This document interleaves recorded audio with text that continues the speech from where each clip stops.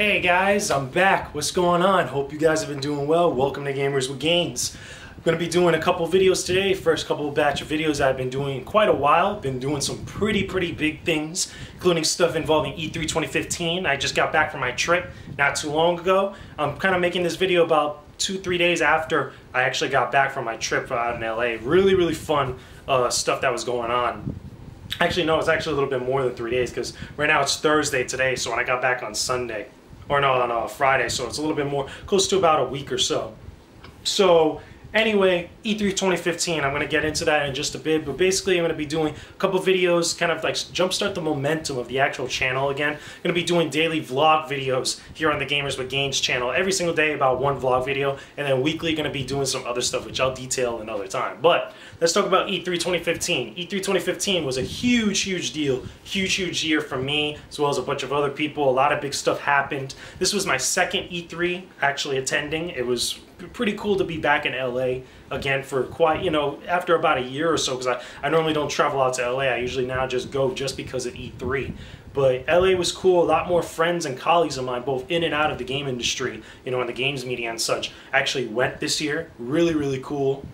Uh, it was actually my friend HMK's first year at E3, so he was like all wide eye and stuff, and it was pretty exciting for him. So we got a chance to chill throughout the entirety of the week and actually go through all the different types of like you know halls, different appointments that we had, you know the press room, and all the different stuff going on in LA at the time. So it was really fun to hang out with him and his girl. What is it? Which was really really cool. But uh, besides that, uh, let's go through kind of like some of the days and some of my thoughts on some of the events that actually transpired at E3. This is kind of like my E3 post-mortem or post-E3 thoughts on everything that happened during my trip. Now, for me, my E3 didn't just last three days like what happened with everybody else. You know, when you guys watch it on television or you watch it on YouTube or Twitch or whatever streaming service have you. But I actually lasted out there in uh, LA. I was out there for in LA for about close to about a week, from Sunday all the way to Thursday. Sunday being because of the Bethesda press conference and all the other events that were happening outside of E3. Specifically for me, the Nintendo World Championships. Now, the Nintendo World Championships were interesting. I actually went over there and met up with HMK and a couple other friends to actually see some of the stuff go down. We saw the finals. Super Mario Maker for N Nintendo Wii U, very, very hyped up audience for that actual game. Really cool to see some of the custom levels come to life from the different Nintendo designers and the game devs over there. They made these crazy awesome levels that happened some amazing stuff during the finals. And it was a really close battle. It was a really cool uh, experience, you know, a lot of people cheering and stuff. And then finally it was just capped off with Shigeru Miyamoto giving Nintendo's 3DS signed by him to the winner and the runner-up. That I thought was a nice little sentiment. It was a nice little cool parting gift for the guys that actually competed. Very, very awesome experience seeing that. I did not expect it to be as good as it was. So that was really exciting and really fun to see like that. Now, the Bethesda conference, I didn't go to the Bethesda conference myself. I actually was it heard about it from the different uh, was it people that were there, as well as some of the members from the Koalition team that actually went there. Now, in case you guys forgot, I freelance for the Koalition. I'm a senior editor over there, and I actually went to E3 with them. There was about six of us that went this year to cover the entirety of the event. So one of the guys went over there, actually saw all the games that they actually presented, the whole presentation. Said it was really cool. It was kind of like a classic 1950s uh, theater with like popcorn and everything. They served up popcorn, which I thought was funny. And he got these little bobble, kind of like our little figurines for Fallout 4, Doom 4, and I believe also Elder Scrolls, if I'm not mistaken. But pretty good stuff, pretty good announcements, exciting uh, games that were actually shown. Doom 4, Fallout 4, all those different types of games there. I don't believe they had any Elder Scrolls announcements. I think maybe they talked about the Elder Scrolls Online briefly, but they didn't talk about Elder Scrolls 6 or anything like that. But you could check out the full presentation online. That's been all over this. Oh, Dishonored 2. That was the other one that they talked about. Dishonored 2. So, going into Monday for me in the trip, Normally Monday, if you're part of the games media, that's an important day for you because that's the day when, if you're out in LA for E3, you get to go to every single one of the press conferences that are happening that day. Specifically for this year, it was Microsoft, Sony, Ubisoft, EA, and uh, yeah, that was about it. Microsoft, Sony, Ubisoft, and EA, which are just four press conferences that all throughout the entirety of that day, with Sony capping it off and Microsoft starting it off. Uh, so, Microsoft press conference. I got there almost a little bit late, so I didn't get any as good seats as I did last year, and I wasn't able to get as good pictures as I normally did last year. But I was still able to be kind of like in the top top upper level seeing the presentation, which was good. Very big announcements, including the backwards compatibility and the presentation, the demo of the HoloLens uh, technology, the kind of like virtual reality stuff that they showed, which was very very cool. It had a lot of people in the audience all tantalized and stuff. But uh, big news from there, obviously the the backwards compatibility for Xbox One for 360 games. Very very big deal. By the time they roll that out, I'm going to be pulling out a couple 360 games that I have in storage here to actually kind of like put them on the hard drive of my uh, Xbox One. Uh, the Rare collection, the, the Rare Replay collection, pretty cool, but I was expecting some more stuff, hopefully with some new announcements, including Battletoads. You know, Microsoft had been teasing that for so long. Everybody, including myself, was expecting a new Battletoads game announcement, but we didn't get that. I guess that was just part of the Rare Replay collection, but who knows what next year or over the next year or so would actually bring about with Rare. Rare actually brought out a new IP, which is a pirate game. I forgot the name at the current moment, so I have to apologize. But it looked interesting, but this is a different type of Rare, as like different members of the media have said many times over since the presentation. I'm hoping at least at some point over the next year or so, as we go into next year's E3, we'll be able to see gameplay of that because we, we only just saw really a CG trailer, and I know it had that first person perspective and everything like that, but I want to see a real gameplay trailer or just a real gameplay demo of what that game actually is. So moving on from there, they had Gears 4. They had the Gears of War Ultimates collection. A lot of Gears love there. Uh, the Gears 4 demo with the gameplay was actually really, really cool. I'm really interested to see where this takes place, like as far as like what's going on in the timeline and the events of the Gears universe. I was I would have expected them instead of moving forward in time to actually go back again in time and actually explore what E Day was. If you're a Gears fan, you've played Gears one through uh, three and Judgment, you know that E Day is the day that the actual uh, the locusts or like the pretty much the, the aliens and the enemies of the Gears universe kind of first appeared, and they never really explored that yet in any of the games. They've always talked about it and alluded to it. But then again, I'm not really too much of a fan of prequels and stuff, and I love sequels and continuing on the story. This really piqued my interest with the kind of crazy design of some of the locusts and the monsters that they had in there. So, interested to see where Gears is going to go on the Xbox One. Uh, besides that, they had obviously also Tomb Raider, which was cool, and then they had a barrage of other announcements, which again you could check out their presentation online. There's videos all over the place. A lot of good stuff coming from Microsoft. Moving on for the rest of the day, I'm going to talk briefly about EA and Ubisoft, especially Ubisoft because I got a crazy story for you guys. So, EA, EA had some good love for Star Wars. They had Star Wars, uh, The Old Republic, a new expansion, which is a big, big deal for if you guys have been playing that game since. I know it's kind of dropped off, you know, ever since its first launch, and it hasn't really been getting a whole lot of support for a good long time. But it's nice to see a brand new story-based content or any sort of kind of like new, interesting kind of like you know plot stuff be introduced back into the Old Republic. A lot of people were even saying that they were going to bring back Knights of the Old Republic, that Bioware RPG that was more kind of like it was on the Xbox uh, original, the original Xbox, and it kind of had all the same type of like story kind of elements and choices stuff that Mass Effect originally had. And pretty much the Old Republic is kind of like an MMORPG version of that, but it didn't have too much of like the Bioware story-based decisions or outcomes or influences of what those games originally had. So they're kind of, I guess, trying to interject that into there. But I would have rather had Knights of the Old Republic. That's just me. But forgetting about that, let's talk about the real Star Wars stuff. Star Wars Battlefront, which also got some love on the E3 showroom floor around Sony's booth area, but they talked about it more at the EA press conference, which is very, very cool. I liked it. A lot of good stuff. Battle of Hoth scene, also the desert stuff. Looks gorgeous. Uh, a lot of people that were actually playing the demo on the showroom floor. Again, I saw this way before the showroom floor opened, but a lot of people were saying that the flying kind of sucked. But during the presentation, it actually looked pretty awesome. I just haven't had gotten uh, hands-on time with it. But it looks good. Can't wait to play that game upon release. Uh, again, I'm a big Star Wars Battlefront fan, as sure as most of you guys out there are. So moving on from there, they had a lot of sports stuff. Again, they had the stuff for FIFA with Pele. Pele is a big soccer legend. If you're if you're not really into football or quote unquote soccer like that, but he was a big deal, and they kind of dragged him on a little bit with his interview. I thought it, it was one of those. It was one of the few moments during the EA press conference where everything came to a screeching halt. But it was nice to have him there. I wish that they were kind of a little bit more clear as far as if you were able to play with him in the game. That would have, I thought that would have probably been a little bit interesting. Moving on from there, though, they had a bunch of other sports related stuff. They had some NHL, they had some uh, was it some uh, Madden. They had a little bit of some NBA stuff, which a lot of that I really didn't care for. And then they got into the mobile stuff, which nobody really cared for. I know they had a Minions mobile game and even kind of like a Hitman mobile game, but everybody kind of tuned out at that point. It was really funny and it's kind of true where a lot of the members of the press were kind of poking fun at the fact that as soon as the woman came on stage and she said, okay, let's talk about mobile, everybody just clearly just pulled out their phones and just completely ignored what she had to say. I was in the audience, I was there, I saw it. It was hilarious. So, I mean, I feel bad for her, but that, that's definitely not the way to go about your conference, EA. So, Moving on to the craziness that was the Ubisoft press conference. Now, I say crazy in the worst way possible because I had probably one of the worst experiences I've ever had at an E3 before, even though I've only really been to two of them that I've really experienced or even really heard of uh, from Ubisoft. And I thought this was a damn shame because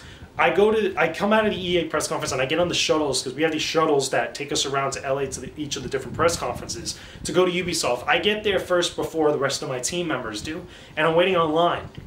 Now, I am US Media. I have a little badge that says media on it. I wish I could, you know what, I'll show you guys right here that I actually have my media badge, which is all jacked up right about now. Okay, but my badge is a little bit jacked up because of it, like the wear and tear of it. But as you guys can see, it has a little thing that says media. Very hard to miss, very hard to kind of like, you know, overlook and such. And it has my name and everything, and it just says US Media. But I was waiting on the line because I didn't have an appointment to actually get into the Ubisoft press conferences. Usually, for the press conferences as media, you get these invites that allow you just to go straight inside. When you don't have that, you either can't go to the press conferences or you can wait on the line, the public line, for all the rest of the people that aren't US media or foreign media to actually stay on there to see if you can get into the press conference. So I'm there early, waiting in line or whatnot, and one of the members of the Ubisoft team that's actually outside maintaining and kind of like watching over everything comes over and tells me, hey, listen, there's another line over there for US media. So I'm like, oh, okay. And he goes, yeah, even if you don't have an appointment over there, you go over there and wait on the line, you'll get in as media. I was like, okay, well, are you sure? Because I don't have an invite and I'm just waiting here online. I don't want to lose my spot online. Makes sense, right? So he goes, no, go ahead and go over there to confirm this, and one of the things I was worried about, because again, I was really worried about losing my spot in line. I wait till a couple of my other team members come, and they're also media as well. They're part of the Koalition team. They're like, yeah, there's a whole separate line over there for people that are media that don't have invites. I'm like, okay. So I walk over to the side where there's another door, kind of like opposite. If you're looking straight at the building, is on the left side go over there and then I look and I don't see a line. So I go up to one of the Ubisoft representatives and I tell him what the other rep had told me. And he goes, There is no media line. Uh, what are you talking about? This is only for people that have invites or not. And I go, Well, one of your guys over there just pulled me aside and just told me, Hey, listen, you know, this is what we're doing. This is the media line over on the opposite side, you don't have to wait on here. And he goes, no, sorry, I don't know what you're talking about. And I go, well, then where's the rep that, that told me to? And apparently, I guess the rep had went inside during the course of all the craziness that was there because I wasn't the only one they told this to, apparently. There was a bunch of foreign media guys that were, I guess they were from Europe specifically. I don't know, remember which country. I do apologize. But they had also been told the same thing, and they were asking the same questions like, okay, what the hell? So there's about a big group of us, I have to say maybe about seven or eight of us, different people that are there saying all the same thing. And the Ubisoft reps just did not help us out whatsoever. We kept telling them, hey, listen, because we got pulled out of the line or whatnot and we were told this, can we get back into our spots in line? And they basically told us no, which myself and the rest of those guys there, especially the foreign media, I feel so bad for them, were super pissed off because they had just lost their spot after being told something. And then having the what is it having the possibility of not getting into the conference. So everybody's in high emotion right now. Everybody's super upset. There was one guy i don't know i really want to find out this guy's name because i would love to have a conversation with him about this where i kept telling him listen you know one of your reps did this to me. I'm media. I'm showing you my badge and this is what he told me so what, what's up? And then he got really rude because you know, I don't know whether he was upset with dealing with all the people that were there because everybody was telling him the same thing. But he got super, super rude and just stormed off away from me while I was still trying to talk to him like that. To even to the point where some of the other reps, and I guess they're they're, they're volunteers or they're interns or whatnot, aside, even gave him a look like, the hell, there that was like super uncalled for. And then they even told me, listen, just get back into the line, and then hopefully you could get back in because you know we're still letting people in there. We have plenty of space. So I was like, you know what? Okay, this is nonsense, and this is probably the worst experience I've had so far, but I'll do it. I'll get back in line. I had to go all the way to the back of the line, this long line that goes down towards the end of the street with all these people that aren't media, by the way, which is a whole nother convo for later, that are all media, that are, that are not all media there, and it's just like huge, huge line. It, it was snaking around the sidewalk. So I go over to the end, and after maybe about five, ten minutes, that same guy that had just stormed off comes right back on and says to everybody, hey, listen, we don't have any more space right now. Nobody else is getting inside. To which everybody in that line was super pissed off, including the people that were before that got pulled out. So that was absolutely insane. Ubisoft completely messed that up. Granted, everybody there didn't have an invite and such, but unlike last year, which they had a better handling on everything, because last year was the same thing for me, and I was still able to get inside as media and such, and I feel like they were just there was no need to be rude to not only me and uh, was it the rest of the actual people. That was just insane. I really don't understand how that could be done at an event like E3, and that's something that I hope I could open up a dialogue with with Ubisoft at some point because I feel that that was unnecessary. You know, not just for me and, and what was going on with me like that, but I look at that, uh, the actual foreigners, the actual foreign press when they were actually over there. And on top of having to dealing with customs and immigration, not immigration, I'm sorry, customs and all the other stuff that foreign media has to deal with, they have to deal with that type of stuff. And that's a shame because these are the people that want to actually be there. They could have done a little bit better or maybe even getting a better location, something bigger where more people could go into it. But I digress. Let me know what you guys think in the actual comment section, and I'll, and we'll actually get that combo going. See what the hell is going on with Ubisoft. To which, because of all that, I tuned out at everything that was going on with Ubisoft that day. I just did not care. I heard about it all later. I heard about Ghost Recon and all that other cool stuff, which sounds pretty cool, but that complete experience just ruined it for me for Ubisoft. So I tuned out. But here's where things got incredibly awesome. I know I'm going kind of long with this vlog video, but a lot of cool stuff happened at E3, which I'm going to get to also. PlayStation, Sony. Sony knows how to do E3 right. Sony knows how to take care of their fans and everybody else and then some at E3. Every single time. This is the second E3 press conference that I've been to Sony for, for them specifically, and I've had an amazing time. Just blew it out the water. Everything that happened that was bad for me at Ubisoft completely canceled out by Sony PlayStation. It was absolutely insane. So I decided, at first, before I even went over there, I'm outside. I met a couple extra people over there that had, the same thing had happened to them. It was a guy I believe that worked over at Microsoft. I really apologize. I know I have his name uh, and some of the cards and stuff that I have. I think, I think it was De Devin or Devon. I really apologize messing up your name.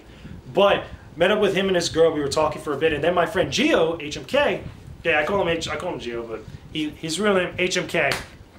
HMK comes out, you know, thinking that he was going to get into the Ubisoft press conference, and I told him, listen, good luck with that. That ain't happening right now. And he was pissed off, too, because he was interested to see what was going on with uh, Ubisoft. So, uh, HMK and me and the other and Devon and his girl all decide to go to Sony PlayStation early. So we catch a ride over on the bus we head over to the actual stadium section, or kind of like the, I guess the Space Center or something like that. It's called for, uh, was it for LA, where you, where uh, PlayStation was actually having their conference. And what they do is, in case you guys didn't know, for the media and the press and such, they're actually able to get in there about an hour or two prior to the actual uh, event. It's really about an hour and a half they actually open up this parking lot where you could go in, they feed you, and they give you all these drinks and stuff to kind of like settle you in after dealing with all this stuff at the convention or the other press conferences earlier in the day. They want you really nice and comfortable and chill. So they had all these food trucks and all these different types of like little bars. They're they're little bars. They're not really like you know like super crazy bars that you find like you know in different buildings and stuff. But they do serve you alcoholic beverages and stuff. Really, really awesome. Got to meet up with a bunch of colleagues of mine, guys over at Gamertag Radio, guys over at GamerFit Nation, uh, Hip Hop Gamer, uh, again, me and my friend HMK, all these different guys. Really, really awesome that I just got to just chill, eat some nice. I guess you could pretty much call it dinner because it was like later in the day. It wasn't really lunch. It was later in the day. So we had a nice dinner. We had some drinks. We chilled. We talked. And finally, it was time to go inside to what, what we, we didn't know at the time was going to be the beast conference of all of E3, the entire week. It was absolutely insane. So went there, went inside, sat down, got to hang out with all my friends and G- and HMK again. This was his first E3 press conference for Sony, so he didn't know what to expect. I didn't know what to expect. Little did we know, right? We got to hang out with the PlayStation MVP guys. My friend Ray over there, who's a PlayStation MVP, got to chat up with him for a bit. Then the press conference starts and it happens. Okay, that's the best way to, really to describe it. It was just so much big, big announcements one after another. Granted, these were games that are not coming out this uh, year or within any sort of proximity of this year into next year. I think really, because a couple of them were, but Last Guardian.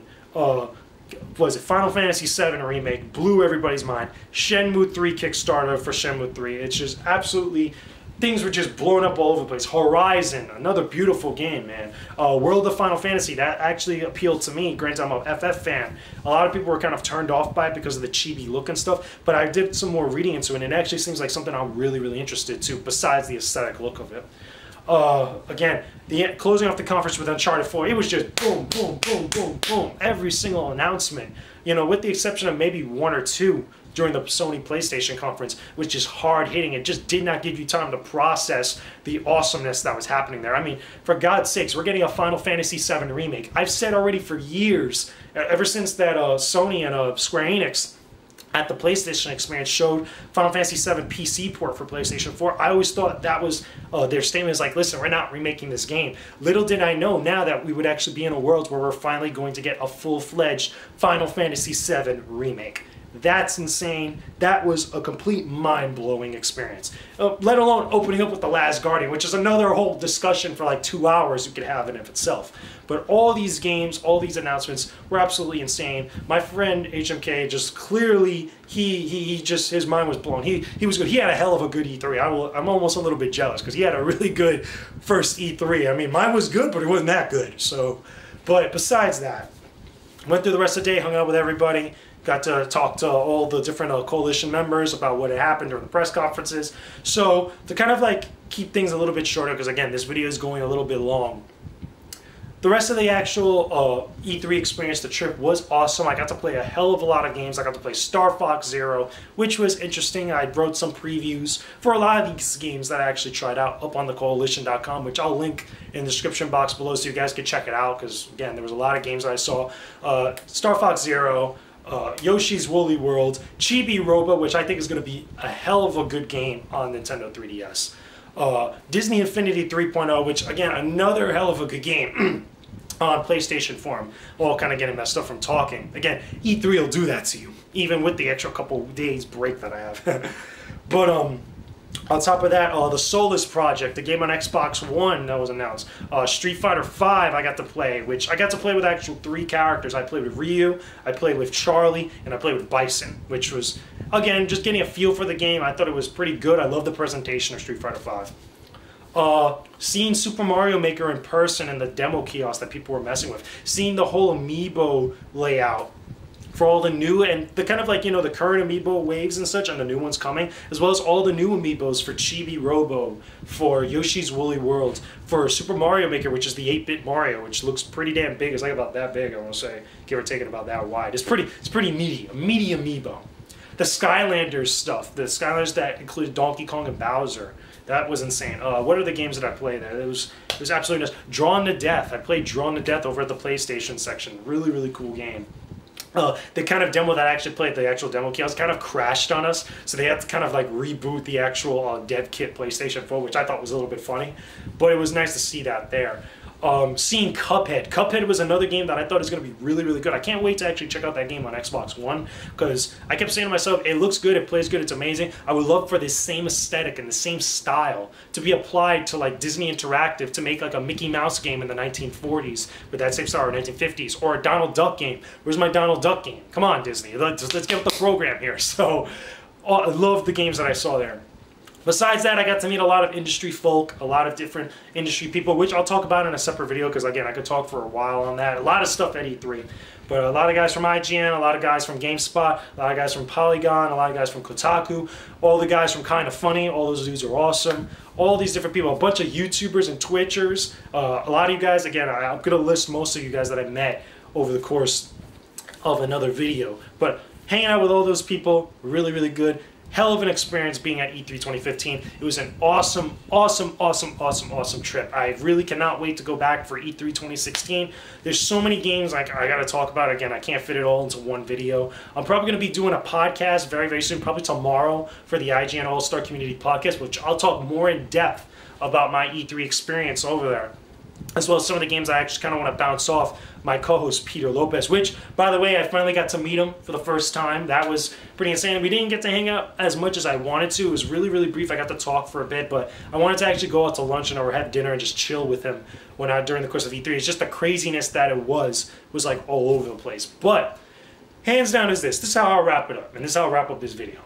E3 2015 was a special year. I knew it was going to be a special year when a lot of my different colleagues were finally going to be able to go this time around, but it did not, it kind of exceeded and destroyed my expectations of how special of an E3 show it was going to be. So many good game announcements, so many good game demos, so many big news uh, items dropping all over the place, so many experiences and fun moments for myself that people I actually got to see. Again, all the people that I mentioned and all the people I didn't mention, which I'll get into later. But I really enjoyed this E3. I w- I'm glad that you guys, you know, were able to get so much good footage and good content for it on all different kinds of outlets because this year really was a special year. You could feel it in the atmosphere and could really feel it that this was a really special time to be a gamer. So I'm happy. Awesome, awesome year. Can't wait for 2016. But that's just my thoughts and my experience, guys. Leave some comments in the description, uh, the description box. Bleh. Leave some comments in the comments section below, guys. I hope you guys enjoyed this vlog. I'm going to be doing more vlogs, you know, for today. I'm going to be kind of rolling out a couple just for you guys to get, kind of get that adrenaline shot for the actual channel. And I'm going to be doing vlogs every single day going forward for the actual channel. So besides that, also be on the lookout for gaming motivation videos weekly. It's going to be starting up again. Can't wait for you guys to actually check out all the cool ideas that I have. So I'm Jake James Lugo. This has been Gamers with Gains. That was E3 2015. I'm exhausted as hell. I will talk to you guys again later. Peace out. Stay epic, everybody.